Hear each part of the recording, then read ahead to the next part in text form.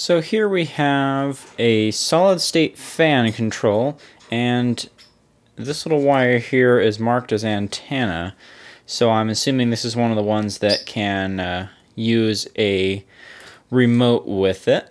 And uh, I picked it up for a dollar just to see if there's anything exciting or what they even do in here. But I'm sure it's incredibly simple. So let's tear it open. Oh, it's also a unit that has dip switches, so that also makes me think that it's a radio one, so you can set your channel that way.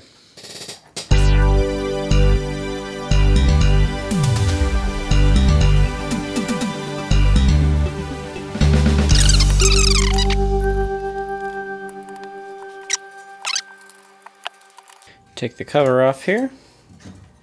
Alrighty. And so here we are. We can see that here is our little stock wireless module and probably nothing else exciting to it. HT48R06A-1. So this is just a little microcontroller and this is the actual the E squared prom for it. There's those dip switches again. Just some miscellaneous protection and these caps for AC. There's just a transistor, some diodes, and some missed caps over here, probably to make some sort of power something another. Big old resistor and more input protection and nothing much else exciting.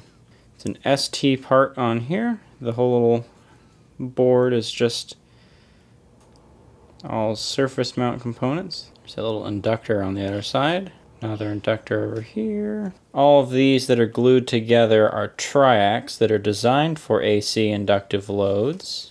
And this is another triac designed to be used for turning AC on and off. So that's why it gets so hot. And I'm too lazy to look up that part. So I forcibly removed this part by just bending it so we can flip it over and get kind of lost in our mind here. And, oh, oh fail. I'll leave this in because, oh, fail. And so we got this on this side, and um, and there's not much to it. There's just a few probably transistors or diodes. I don't think there's markings, no. So there's just a few little parts, and then the miscellaneous resistors and so on.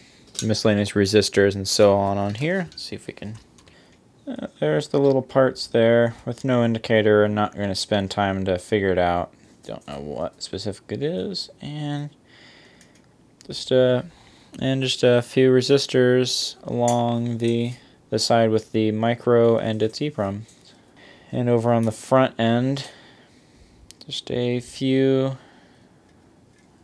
more little passives there. So that's basically it. So that's the little unit. I don't really know what I could use it for as is, but I could probably...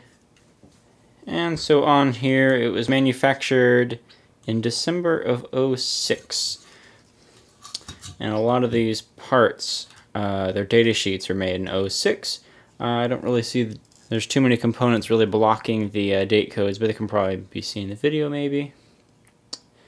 Yeah. So besides that, it's just an interesting little board.